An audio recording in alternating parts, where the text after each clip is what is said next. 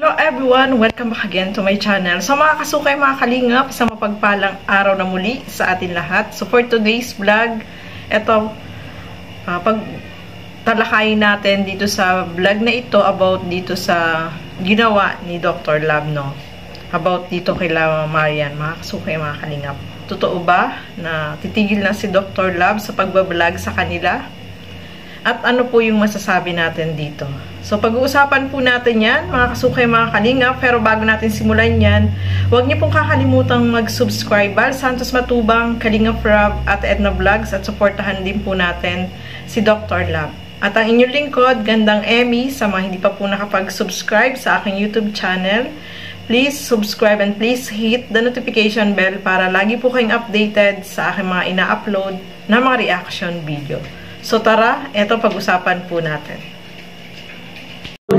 So, ganun po, sabi ko, di, katulad po ni Chloe, hindi na siya makakapag-aral dahil po kailangan ko magtrabaho. Kailangan kami walit sundagin sa bundok. Umayaw kasi si Marian, hindi ko alam kung anong plano niya, bakit uh, itinigil niya itong vlog sa inyo.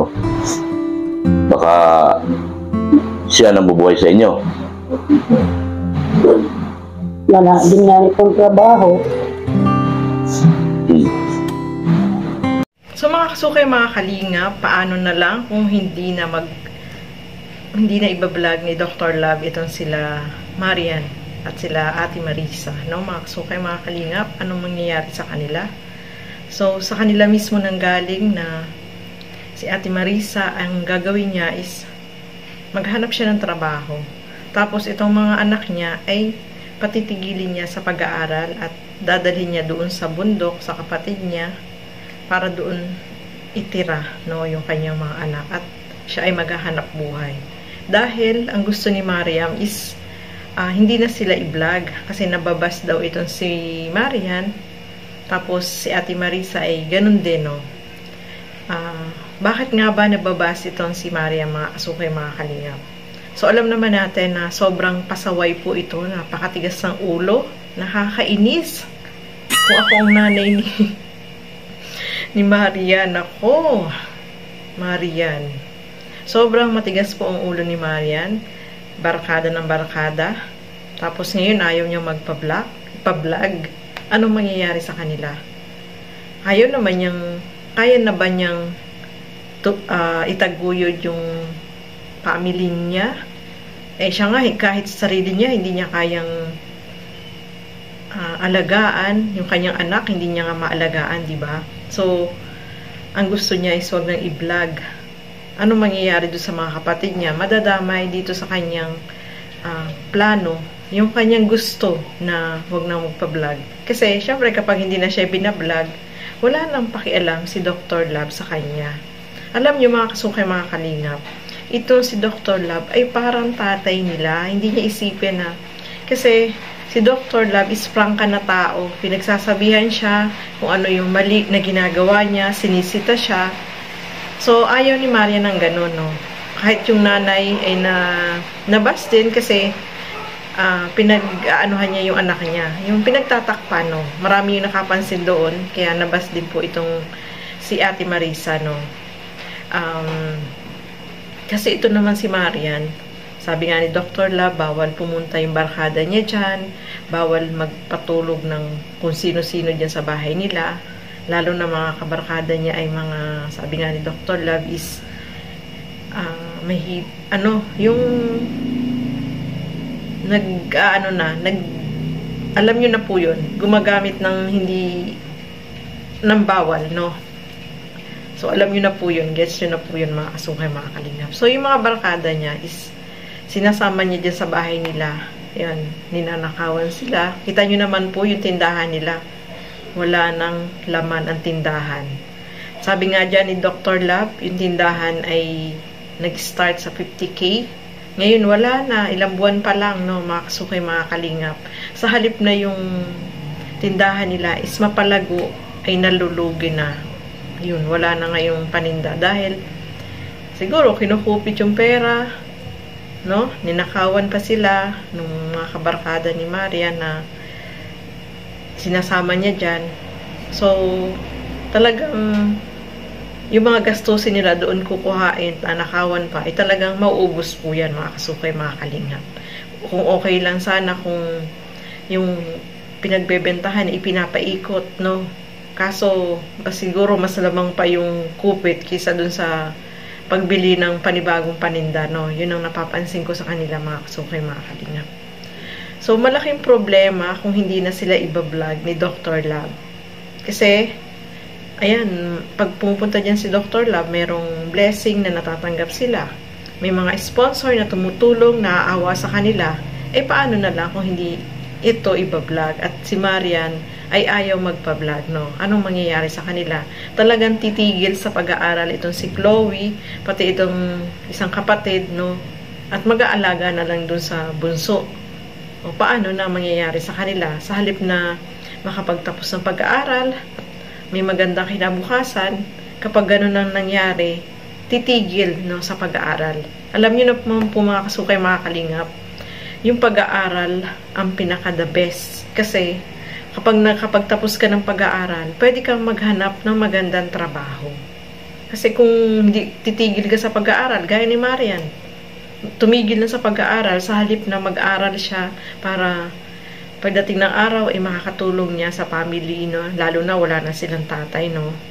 Sa halip na siya yung panganay, magtataguyo dun sa kanila, ay hindi siya pa yung pasaway, sobrang tigas ng ulo, hindi nakikinig, laging nag-aaway sila ng mama niya. So talagang walang improvement. Sana nag-improve yung kalagayan nila kasi maraming blessings sila natatanggap dati, no? Especially yung tindahan, mga sukay, mga kalingap. At ang lahat na sinasabi ko ay prank lang.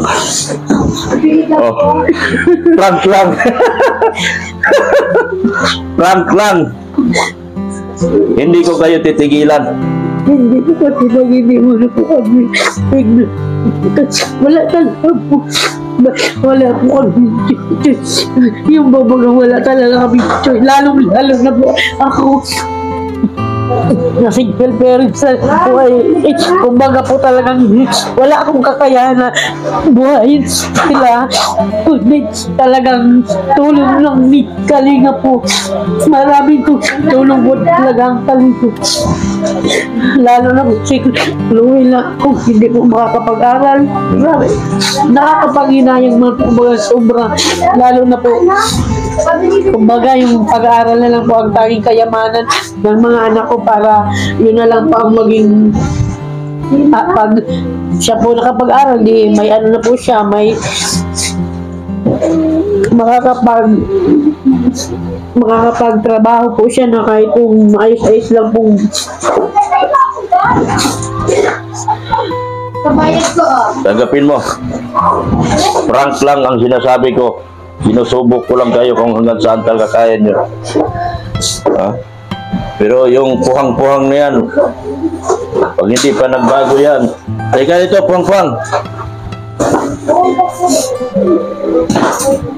It's a prank! Sabi nga ni Dr. Love, mga kasukay, mga kalingap, no?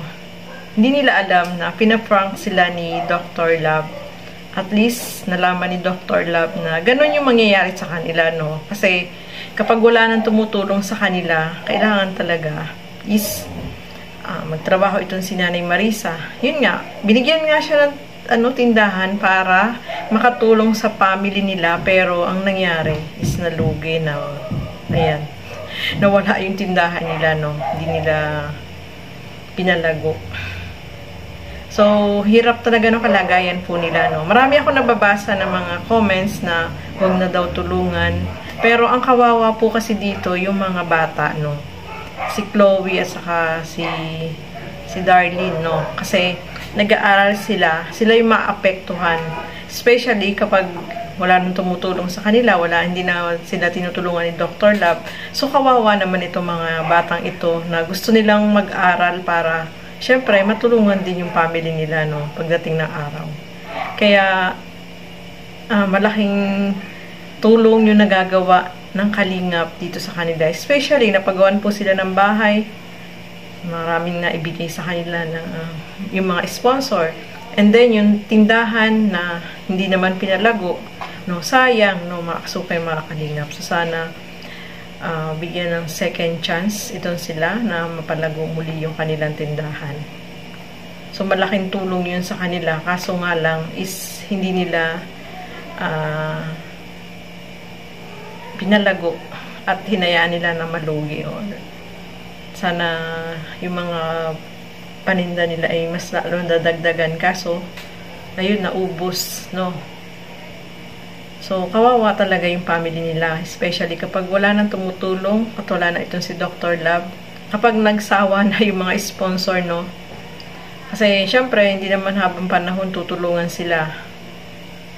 Okay kung may tumutulong pa na ano, mga sponsor at naawa sa kanila, ayun, pwede silang tulungan.